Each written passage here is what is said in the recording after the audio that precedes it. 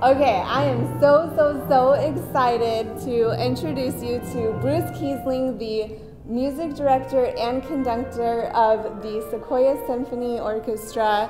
Bruce, Thank you so much for being here. How long have you been with the symphony? Thanks for having me. I'm thrilled to be here for sure. Um, I've been with the symphony actually just over 12 years, so wow. entering that part of the phase, which it's been an amazing time to be with the orchestra and really see uh, our audiences grow and change, and also the orchestra continue to grow and change so wonderfully. How long do people typically stay in the orchestra?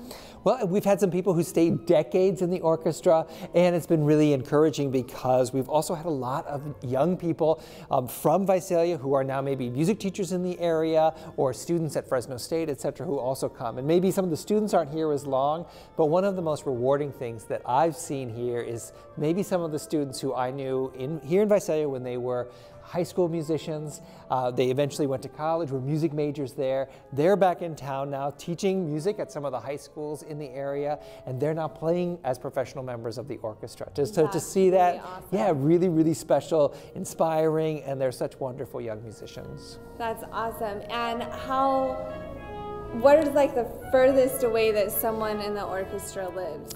Uh, well, this week we have someone coming from Santa Cruz who's driving over, so it's about a three-hour drive.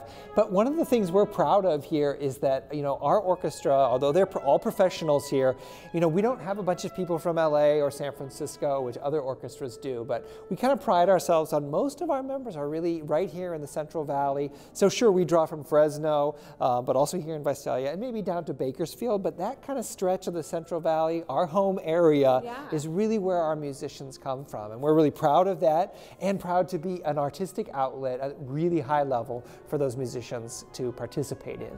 Yeah, it is a very professional, very beautiful, very well organized orchestra and I love that you have the movie nights when you guys oh, yeah. play like the Star Wars music and watch the movie at the same time. Those are so fun. Yeah, that's something I've, i wanted to do here for a long time um, because I'm a huge movie fan myself. I love films and certainly one of the things that brought me to movie music when I was a kid, I remember listening to John Williams and the Boston Pops on the radio mm-hmm. and the chance to really, I think if you really want to enjoy great film music, the best way to do that is to see the film as well. And it's been wonderful and gratifying to see our audience has followed us to that. So some of our most successful events here have been when we did Star Wars or when we did Home Alone for the holiday yeah. season. Indiana Jones was a real highlight too. So it, it's really great to be part of that. And I was saying to people after we did E.T., the extraterrestrial, it was really, I was very moved because I remember seeing that film as a kid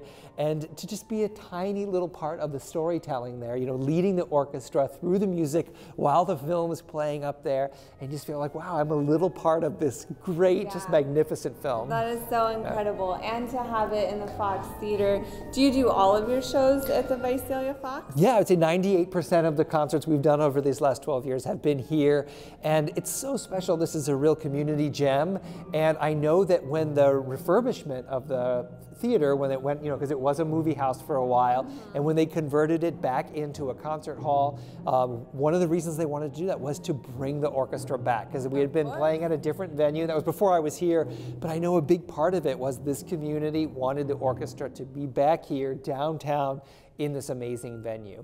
And so along with the orchestral shell, which we purchased to kind of help the acoustic in the room, because it was really built as a movie house, which doesn't necessarily mean it sounds great for orchestras. Yeah. So, but the purchase of our shell and uh, has really helped to get our uh, audience to hear our orchestra at its very best. That's amazing. How long have you been a conductor?